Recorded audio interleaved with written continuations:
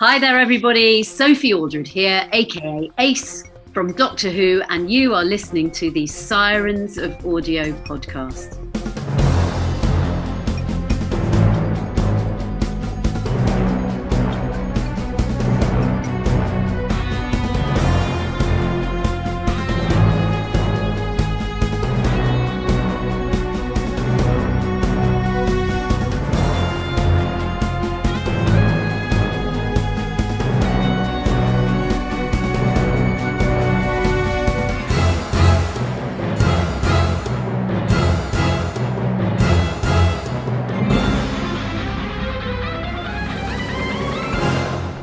G'day, audiophiles. This is the Sirens of Audio, the show that explores the universe of Doctor Who in the audio medium. My name's Dwayne, and we have a special edition of the show today where we're going to be featuring one of the very first, well, the very first interview that we did with Janet Fielding in our live events earlier this year. But before we get to that, because of the success of our earlier live events with Janet Fielding and Sophie Aldred, we've been uh, in a position to bring you a couple of more live events. In October, we are bringing Katy Manning to Sydney and Melbourne. So you can get your tickets and more information at our website, katymanning.sirensofaudio.com. There are links to more information and tickets there on the website. Jump over and have a look. But to give you a taste of what is to come with Katy. If you haven't been to one of our events before, we are happy to share with you the first interview, as I said, that we did with Janet uh, at on uh, it was the first of April. No kidding, first of April this year, and it was uh, Janet's introduction to our Sydney audience, and it was a privilege to have her in town after such a long time, and uh, she gave the fans a great time and spent a lot of time with them, was very hands on, and I think everyone there really enjoyed the smaller Doctor Who focused event that Philip in particular was able to put together. So so much gratitude from me to Philip for putting these events together. And uh, yeah, so we just want to share that first interview with you, just to give you a taste of what our events are like. Um, this was held at our location in Parramatta in Sydney. And I'll come back with you after the end of the interview. Hope you enjoy it. Hello. Good morning. G'day. G'day. Indeed, g'day. I did not know that Parramatta meant eels. There you go. I follow the eel historian on Twitter. And he's just great. He's full of eel fab, uh, facts, but I think he's based in the USA, and I don't think he knows that Parramatta means eel, so I'll be able to tell him that. Yes! Yep, there, there is a reason why the Parramatta Football Club have eels as their. Oh, yeah, do they? Yeah, so the Parramatta Eels. Ah. Who's, who's local? Who, anyone local? Anyone? Few oh, locals? Wow. I love your hair. Yeah, it's great. Yeah. Oh, hello. Yeah. That, yeah. like pointing out people in the audience already just to make them uncomfortable. Uh, Janet, welcome. Thank you. So good to have you back in Australia. Oh, so good to be here. How long has it been? Well, since I was in Australia. Since you were Australia last time. Okay, so I was back home three times in 2019. That was a bad year, though. Uh, both my parents died, yeah. And I was already committed to coming over for one of my youngest brother had his big birthday. He turned 60. I know, I just I can't believe that's true. But he's 30 years older than you. yeah, right. yeah, because we're about to mention it's been 40 years since you started in Doctor Who, so I yeah, guess, yeah, okay. Yeah. Um, in fact, it is 43 years since I started. Wow. And I was 27 when I started. Oh, people are doing the maths now. Yeah. You're happy to give away your age? Eh. like, you know, I'm still standing. You know, like, that's a plus. I'm still shooting Cybermen. And thanks to Sophie, uh, so, Sophie Aldred, rather. Oh. I used to, her married name. Sophie Aldred. I'm still running up and down damn steps. and every time we went for another take, I said, You and your action hero. So was it like it's, it's, it's a 43 years since you did your first films with, yeah. with Tom? Is, is it, I kind of say once again, watching those clips, I just made my heart sing about certain emotions, and just the qu- quality of what was there. That scene, just that beautiful scene where you come in with Tom, and just the way he just sort of lifts himself up. It just sort of it says so much. And the way that you actually did work with Tom, I know Tom was a bit strainful in terms of it was a bit hard with him. Yeah, well, I was the first, I think I was the first uh, companion he hadn't had a say in. I'm not sure. No, that'd be right, actually. Yeah, although I'm not sure whether a first female companion Yeah. he hadn't had a say in, because I'm not sure about Matthew, Yeah. um, whether he had a say in Matthew either. Yep. I'm not sure. Yeah. So you just suddenly appeared. He hadn't met you and, and given his nod. Yep. Um, I guess because that he was going and he, they didn't Yep. need his nod. Yeah, correct. Yeah. So what, what sort of mood was he in when he on set? Was he was he melancholy? Was he? How did you find him? Um, a bit remote, if I'm honest, a bit remote. But then, you know, that often happens in series, and then you get to know somebody over the course of the thing. But I wouldn't claim to have ever got to know Tom, Yeah. whereas I got to know Peter really well. And, you know, Peter and I had this sort of jokey relationship. Um, any of you who used to follow us on Twitter or ever seen film footage of us at events, uh, we spent a lot of time taking the mickey out of each other. And he is extremely cruel to me. Poor little me. It's not like I ever do anything. Um, so he's, um, yeah. And I mean, it's really quite funny, Peter and I, because Peter was the only male in a family of three women, three girls, three sisters. And I'm the only girl in a family of three boys. So there's a sort of mirror image dynamic there. Yeah, so, yeah. That, that, that playfulness that you and Peter have, Yeah. verging on viciousness. Um, when, when did that start? Was that actually why we started working together? Was it more later on in convention? That was more later on, yeah, in, in conventions. Because we used to see each other, um, you know, uh, really reconnected in the 90s because we were, we, and still are, members of a club called the Soho House. So Pete, Peter was there because he was um, doing shows on the West End, so often he'd go there afterwards, meet up with people afterwards there. And I was there because I was an agent. So I would take um, my clients there or casting directors there and, uh, with, with the clients. And so we reconnected uh, uh, via the Soho House, funny enough. Yeah. Right. So, uh, okay. I'm trying to- Why, why don't you talk a bit about Power the Doctor because it's the most recent Yeah, thing you've done. yeah. Uh, who's all? Who's anyone? He see the Power of the Doctor? Few people. Yeah. There you go. Yeah. Um, can I? I mean, can I say by far my favourite Jodie episode? It just blew me away, and emotionally, I was Yeah. so taken away. Um, you're one of very, very few companions who've been invited back. Yeah. So they didn't know you very well? Yep. Or, yeah. Uh, um, how, how did you, I didn't get much of a reaction, but never mind. how did you first get contacted? How did, how did this come about? Because you haven't acted, because after, after you left acting, we'll t- chat about it a bit later, but you became an agent for a long time. You worked for a women's Well, organisation. I, I first of all, because what happened in the 80s was that it was a really bad time for women Yeah. in the industry, in the, in the film and television industry in particular. Um, I mean, there's only like one in four, less than one in four roles are for women anyway in um, traditional drama, um, even less in Shakespeare.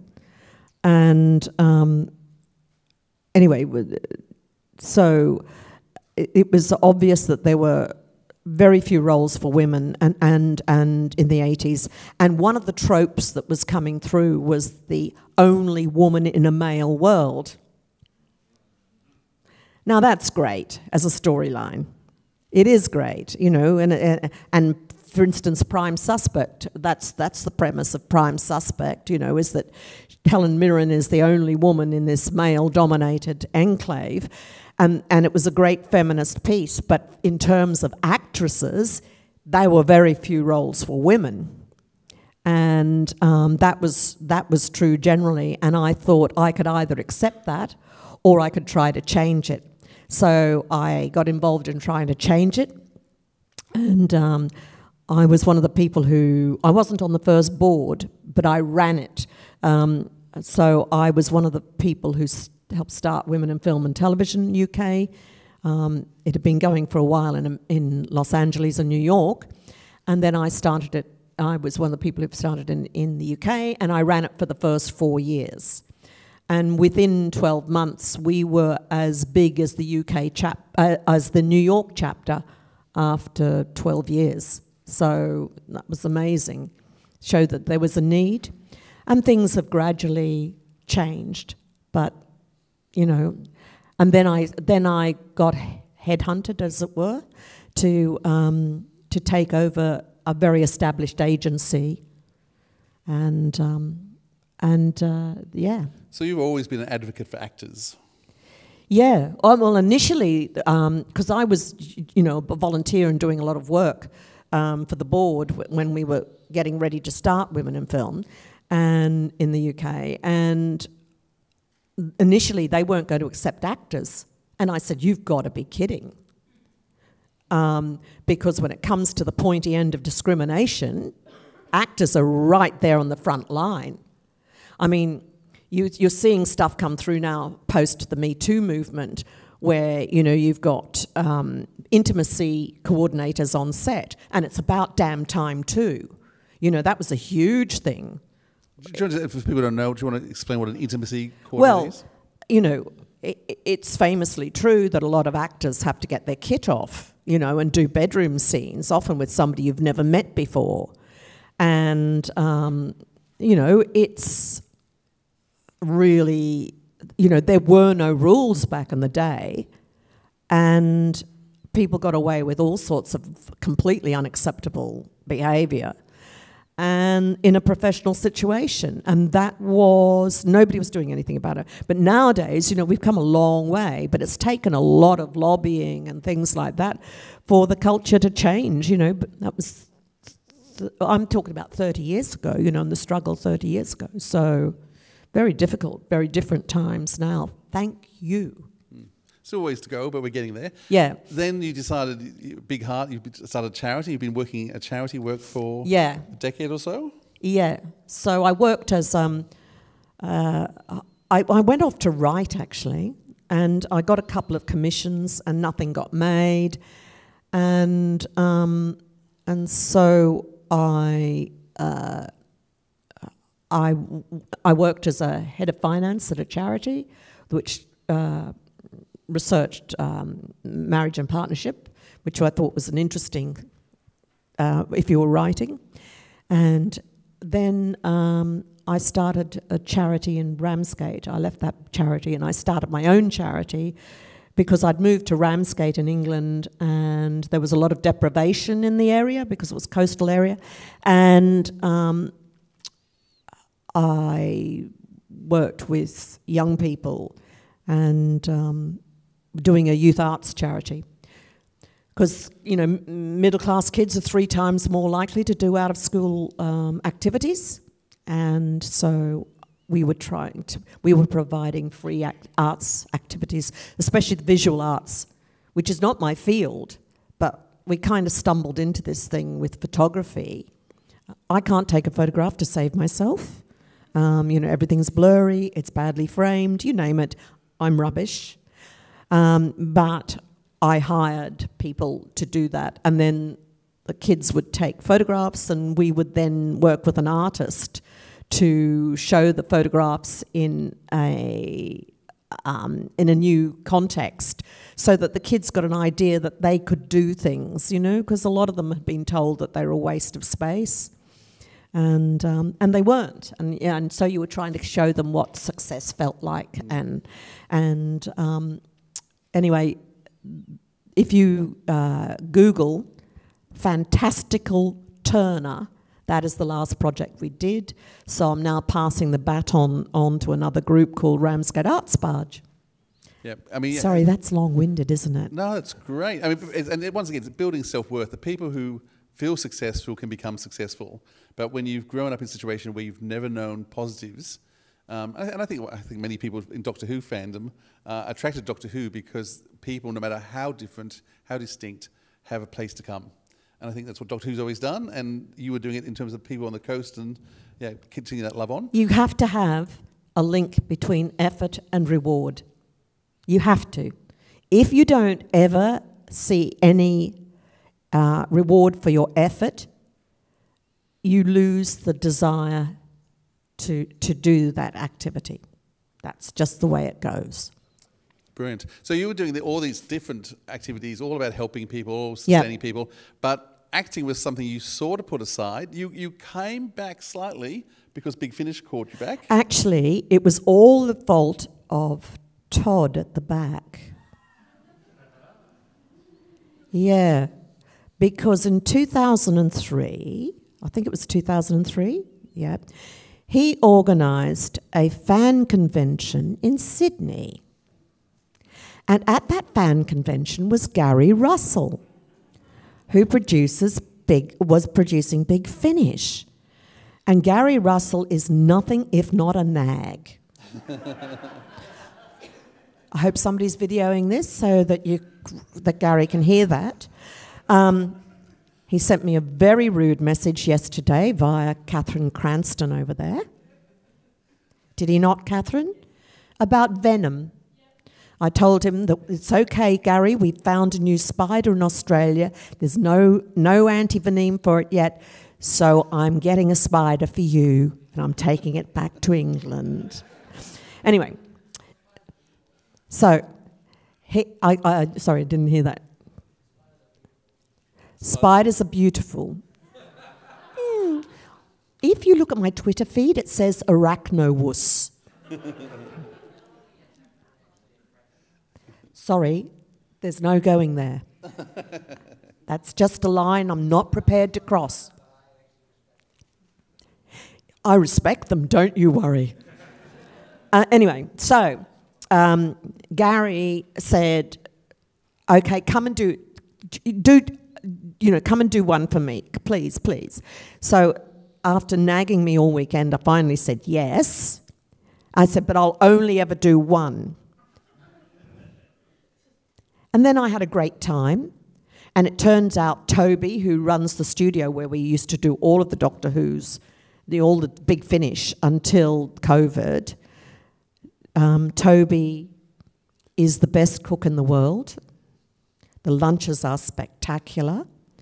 You have to fight Peter Davison for. The, so Peter has a chair. This is used to be. The, Peter had a chair right next to the door, to the to the to where the, the lunch was set out, and we used to always try and make sure that if Peter went into the studio to record his bit and you, you weren't in it, you could somehow block his access to the food. Um, so we just had the best time. I'm, you know, and that's really when it started, when we started taking the mickey out of each other big time. And, and I can't remember who it was that we, had, you know, because we have some really cracking guest stars, but somebody was in there and he, they went, what is it? I mean, you know, the, things are, are bad between those two, aren't they? And, and David Richardson, who was producing, said, no, that's what they're like because they're fond of each other. If they're polite to each other, I worry. So that's how it goes. Oh, I feel better now with how you treat me. Yeah. you ain't seen nothing yet. Yeah. So, so Gary, Gary took you your word and kind of killed you off. Yeah. So, oh, she's only doing one. We'll kill her. Yeah. Um, Cheeky. But then he brought you back young. Yeah. It's always nice to do. So you've been with Big Finish now Yeah. basically 20 years. Yeah. Wow. Now you can't get rid of me. No. So um, we'll chat Big Finish a bit more later with Peter because I mean Dwayne and I, of course, are big, big, Big Finish fans. Um, Yeah. But so you you- Quite that- right too. That was really the only acting you were doing. Yeah. So when did you hear from Cardiff? Well, yeah. So by the way, I love what you're wearing. oh, It looks kind of familiar. yeah. So, and thank heaven it's cool in here. Um, I was getting worried. Um, yeah, so I get an email from Julian, who handles some of my convention appearances in England and America. And he, he sort of said, uh, I've had this message from Andy Pryor, the casting director. Are you interested? And I went, Oh, okay. hmm, should I do this or not? And so, but you you always leave the door open. So I went, I sent back and said yes, and then um, so Andy Pryor came through to me direct. Um, I don't know why they didn't go via because my old agency is now called Gordon and French, and I'm still have a, you know, I'm very great friends with Donna, who's the uh, who's the French part. Um, Gordon has long since gone, but and um, yeah, so I said, uh, yeah, okay, and um, and then So I heard nothing so this for weeks. I heard nothing. So that's only July, and we So it's July 2021. one. Yeah, that's and, July 2021. and this is before scripts are written. They haven't shown you a script. Oh yeah, anything. yeah. Are you going to so do a it? few, and then, and then it was suddenly all systems go. Uh, after like three or four weeks of not hearing anything, I get a phone call from Chris Chibnall, and hadn't done a deal or anything. And Chris and I, he asked me what I thought Tegan had done and how she'd developed since then, what her life might have been like. And so I told him what I imagined it would be, and um, and that's how uh, the character, as she is now, is kind of focused, and and and and uh, and Sophie went through the same process, and so from like early July, I think it was early mid July, um, and then my costume fitting was on August thirty first. and then started filming. Uh, a couple of days later, Whoa. Okay. and and uh, yikes. And the other thing was because then, after the conversation with Chris, I thought, okay, it is Thunderbirds are go, you know, and and then I was paranoid about COVID. Oh, if I get COVID, they'll recast me, blah blah blah, and so I focused on that instead of being terrified about the fact that I was going to be on camera until the first day of filming when I thought, ah! you know, and um, uh, yeah, so it in my day you, rehearsed, so you'd go out and you'd do first of all you'd do a read through, so you'd hear how the other actors were basically going to approach the, the part. Then you'd go out and do the filming, and you'd get a sense of of where things fitted, and then you'd go into the studio, you'd rehearse for 10 days, record for two, re- re- rehearse for 10 days, record for three days. So those be long studio days, you know. You called very early in the morning and you finish after 10 o'clock at night. No, not now. You just get on and do it. Eek. And we didn't even have a read through. COVID. So, at what point did you did you get a whole script, or did you just get your parts? We got a I got a whole script, but it kept changing. I mean, it, th- there were alterations to it. Okay. So, what was the first scenes you filmed? Was the first scene Oh, yeah, with the phone by the water. in which I could see my own face reflected. I said, "Sorry, you're going to have to tape over this."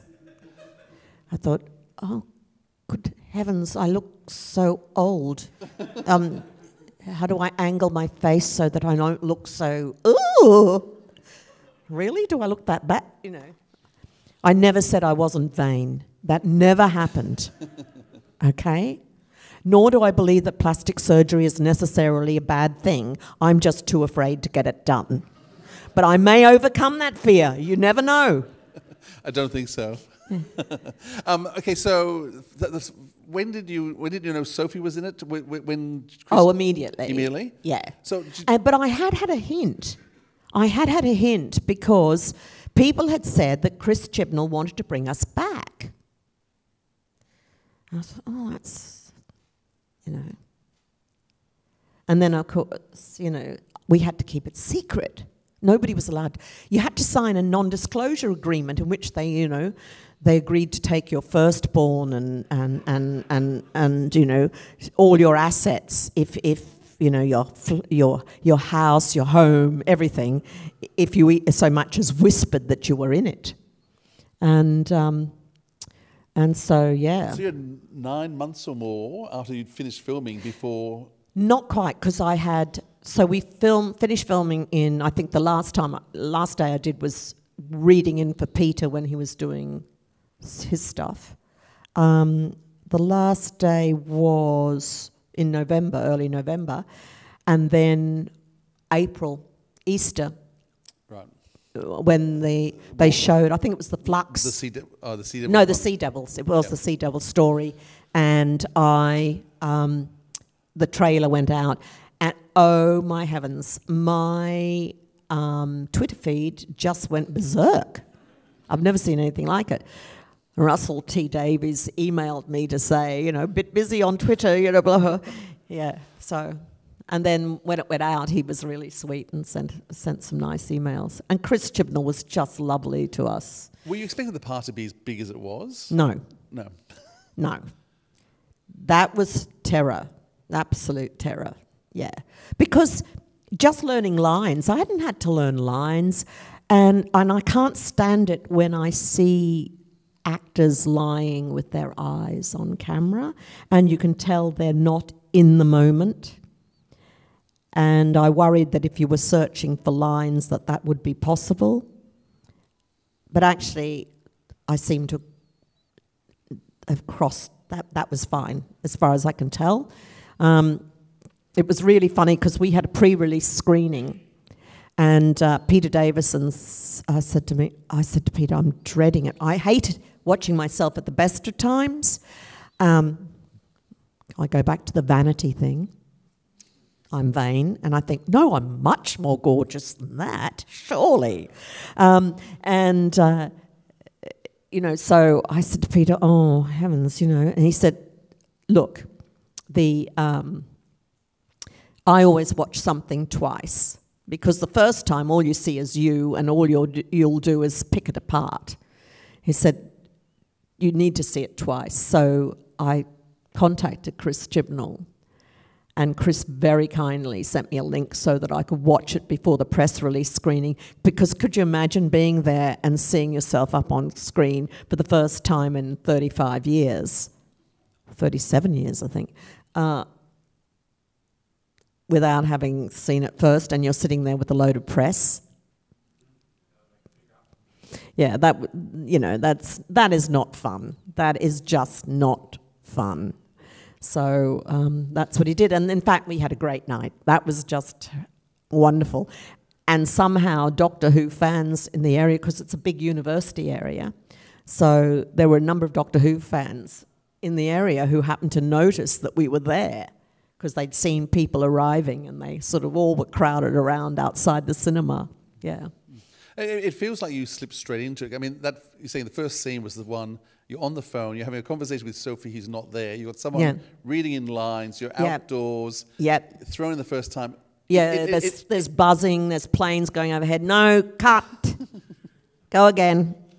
You know, all of that was going on. It feels like you have just slipped straight back into the role, though. Did it feel like it's where you were sitting? Because No. as an audience, okay. No, I just felt naked terror. Did you stop feeling terror by the end of the shoot? Yeah, yeah, I did. And uh, you know, Sophie and and and Gemma and I sort of were hanging out a lot on this, you know, and and Patrick Kane, you know, who's so wonderful. Doesn't he look frightening as the Cyberman? Hey, oh my, my, my. What a brilliant, brilliant costume and makeup that is. Ray Holman, the costume designer, was just splendid.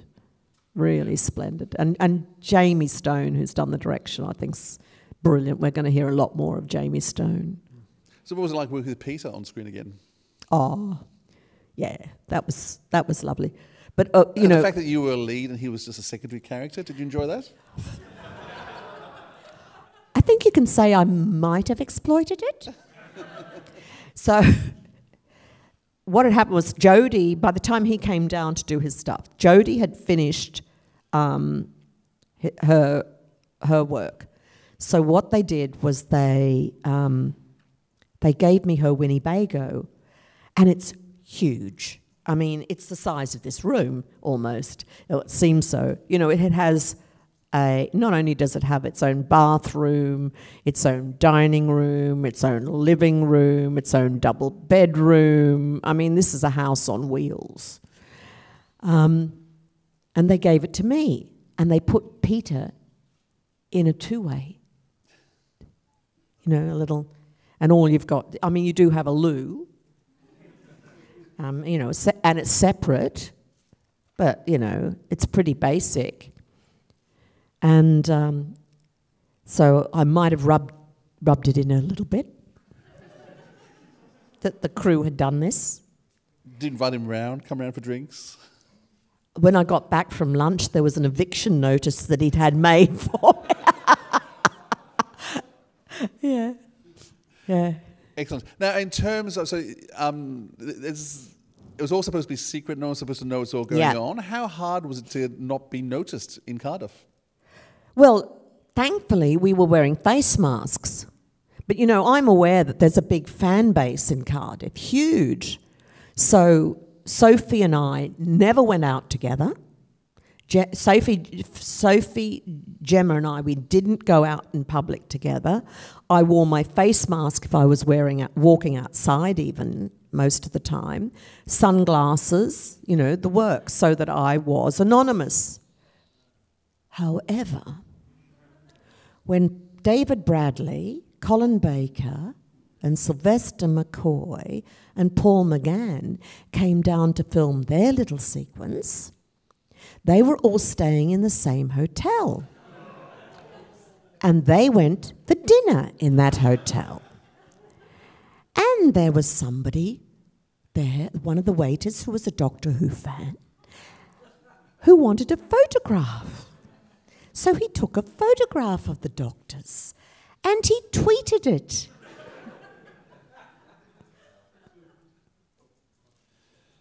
anyway, yeah. Well, of course. I mean, they- they- I'm sure their NDA didn't count not being tweeted together with others.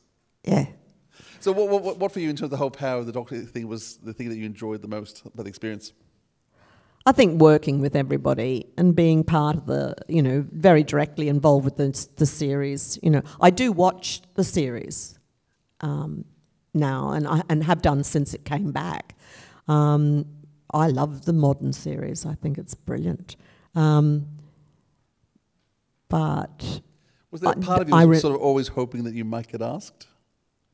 I guess so. I mean, I never really thought about it, if I'm honest, until fans started tweeting that there was a rumor that that and and as it was coming towards the end of Chris's run and nobody had contacted me, you know, Chris Chibnall's run as showrunner, I thought, oh well, it's not going to happen. Oh well. Uh, but So you talk about you and Sophie and Gemma, who, who Yeah. plays Kate Stewart. Yeah. All gone really well together. There's some rumours around about the three of you doing an offshoot spin-off. I know. And I, I promise you, I haven't heard anything. But if there was an NDA, you'd have to say that. I would. yeah. I know. Well, you know, tweet away, guys. If you want to if you want to let Russell T know that that's what you'd like, far be it from me to in any way. So if you were asked, would you do it? Yeah, of course I would. No hesitation. Are you kidding? Listen, that's fantastic. It's uh, 12 o'clock. Yeah. Um, we're going to have a lot more of you during the day, which is going to be Yeah. fantastic. But people, um, would, I'm sure, would love to have photos with you now. And Oh, really? In costume. I know Okay. I do. Um, so, uh, just so you know, actually, why don't we let Janet leave and you can go have a drink of water and just have Okay. a break. So, would you please thank Janet Fielding?